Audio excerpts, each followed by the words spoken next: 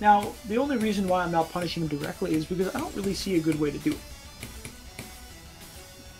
Okay, so now what I'm looking at is I'm looking at this square. That's a weak square. It's only protected by the king.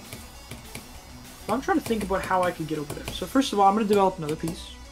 Because, you know, that's what you do. If you can, you do. So what I'm going to do now is I'm going to bring my knight over here.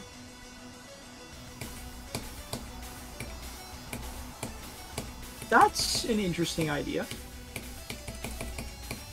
I like this. This is a good idea from him. So what I'm going to do... Let me think. What am I going to do about this? So this is defending twice from the bishop, the knight, and the, queen. So this is three times. So I don't actually have to worry about this being taken. So I'm going to go here. If it takes, I don't want to pin myself. So I will take with the bishop. Now notice, if I do this, what might happen is this might get attacked Holy again. shit.